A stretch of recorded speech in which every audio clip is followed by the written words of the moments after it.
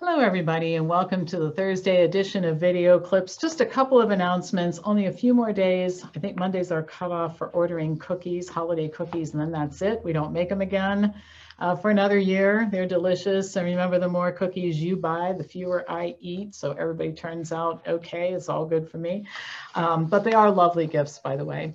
Um, I'm wearing my new Make Americans Free Again sweatshirt. Love these, comfortable, warm. It's freezing cold outside in Columbus today, and this is nice and warm. So you should get one. Go to makeamericansfreeagain.com. We have a donate to our legal fund button on there, and you can also order um, coffee cups. I've got my uh, coffee mug, Make Americans Free Again coffee mug.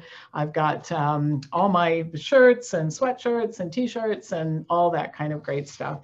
Um, we have um, just a couple more conference calls left in the in the year. I'm doing on Wednesday for Make Americans Free Again because Christmas Eve and New Year's Eve fall on Thursdays, and we will not have a local meeting here on uh, Thursday for those reasons. But um, and then uh, because it's coming to the end of the year, you know, people are getting ready for next year. Remember, if you want to talk to us about training to be in the business that we're in, um, we offer the equivalent of a bachelor's degree in dietetics through our nutrition educator program, and also training for certified health educator. Uh, we have a lot of different programs. So just send me an email. I'll send you information. We can set up a time and talk. All right. So I want to talk about Winston Churchill today, one of my favorite people. And I'm going to read a little excerpt from a website that contained a whole lot of information about Churchill, and I think you'll understand the relevance to our current times as I get into this. As one of the iconic politicians of the 20th century, Churchill made his bold and overt character a fundamental component of his leadership and a symbol of the war effort, of course, World War II. With his quintessentially British appearance and demeanor, he enjoyed widespread appeal. He was often portrayed in photographs and cartoons and regularly roamed about, cigar in hand, surveying the effects of German destruction. The people trusted him to protect the island, despite the frightening insecurity of World War II. At the same time, British confidence gave hope among the downtrodden and overrun countries of Europe. Churchill's stubborn unwillingness to let war disrupt normal life in England was broadly admired. Despite the many precautions required by the emergency, he himself was famously determined to maintain his day-to-day routine. By remaining in London whenever he expected a major raid, Churchill related to Londoners during the worst of the Blitz. There were risks associated with being a leader in the path of danger, but Churchill was unmovable, convincing the people to follow his example, whatever the horror or threat of attack. Many famous and humorous quotations exemplify for uh, Churchill's unfaltering character.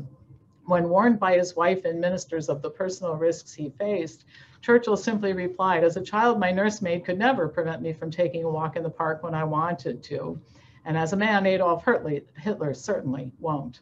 His unwillingness to back down was an inspiration. The nation adopted his resolve. And I'll just pause here and hope that you're seeing the difference between this world class leader who is a giant among men and the types of criminals and despots running our governments today, locally, at the state and local level. Churchill's physical appearance contributed to his image. In addition to his imposing figure and ever-present cigar, his dress exemplified his role in leadership. His siren suit was a personally designed kind of one-piece suit, easy to put on or take off if he wanted a siesta, a habit he learned in Cuba as a young man. Adding to the fast accumulating Churchill legend, what the public called his rompers were world famous. Nor were they all utilitarian. Some siren suits were made of velvet, silk, and wool for the best parties at Downing Street. A gentleman at heart, Churchill was conscious of his public persona. While respected by aristocrats, he appealed equally to the masses suffering under wartime shortages and rationing. The image of him working away for the country, clad in his odd yet practical outfits, appealed to the people and enhanced their trust. Supporting his image, photographs were distributed to show the public the inner workings of their leader's daily life. Photographs and cartoons in newspapers and magazines circulated widely, Churchill often displaying the V for victory sign as signature gesture. The V sign's origins are lost in antiquity, but recently it had been said to have represented a powerful symbol of victory corresponding to the Morse code V, three dots and a dash, and the opening notes of Beethoven's Fifth Symphony.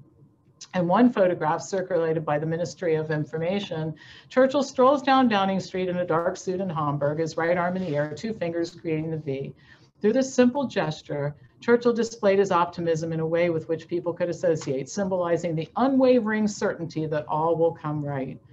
Another 1940 photograph shows Churchill taking shelter from bombs during his visit to the heavily damaged city of Ramsgate. Apparently carefree, he smiles cheerfully for the camera. A protective steel helmet is strapped around his chin in place of his Homburg. Some photos show him surveying blitz damage to assure people that the government cared. A September 1940 photo captioned, Are We Downhearted, portrays Churchill, Churchill on a wrecked city street, surrounded by grinning young girls and a contingent of resolute military officers. Another shows him with the king and queen surveying the rubble of Buckingham Palace. Similar is the photo of him in the House of Commons, destroyed in the last raid of the Blitz, captioned, The Stony Path We Have to Tread. In such photos, Churchill might appear grave and serious, but never desperate or hopeless. Their effect was to demonstrate that government figures shared the dire situation as civilians. Again, I will point out the difference between this world-class leader of people and the criminals and despots in charge of our lives locally. Churchill's effort to present a positive public image was successful. Britons regarded him as a caring leader, confident yet realistic, ready for anything. The morning after the Blitz began, Samuel Battersby, a government official, accompanied him on an inspection tour recalling a teary-eyed Churchill watching as rescuers pulled civilians from the rubble of their homes. When one woman asked him, when are we going to bomb Berlin? Churchill ardently replied, you leave that to me, raising the spirits of the desperate and confused survivors. The Prime Minister, Battersby recalled, transformed an atmosphere of despondency into one of only hope in just a few words. Churchill understood how to reach out to civilians, first with sympathy, then by creating confidence. In his own recollections, he described how the people looked to him. They crowded round us, cheering and manifesting every sign of lively affection, wanting to touch and stroke my clothes. One would have thought I'd brought them some substantial benefit which would improve their lot in life. I was completely undermined and wept. Ismay, who was with me, records that he heard an old woman say, you see, he really cares, he's crying. They were tears not of sorrow, but wonder and admiration. When we got back into the car, a harsher mood swept over this haggard crowd. Give it to him back, they cried. Let them have it too. I undertook forthwith to see that their wishes were carried out, and this promise was certainly kept. Despite all the fame created by his image in high office, Churchill remained humble, regarding his role less as a path to glory than a necessary hardship and responsibility. Victory was the goal for the nation as a whole.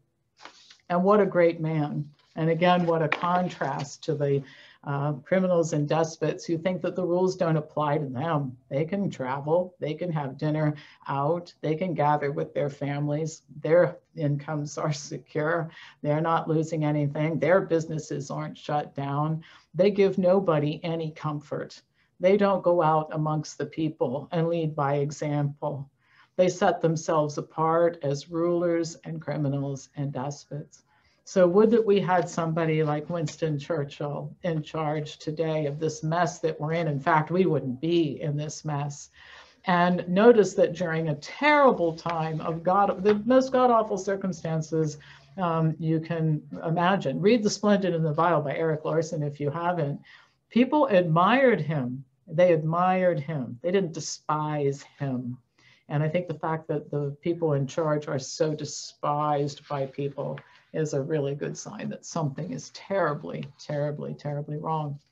So um, we need some inspiration. We need leaders of people to come forth and, um, and, and help us out of this mess. Unfortunately, we have some of those types of people. Um, but uh, again, the contrast between people who know how to lead a population through a crisis versus those who are taking advantage of a population in crisis and causing the crisis itself. All right, that's all for today. As usual, pass this on to anybody who you think would enjoy watching it and learning more about this, and I'll be back to you tomorrow with more news.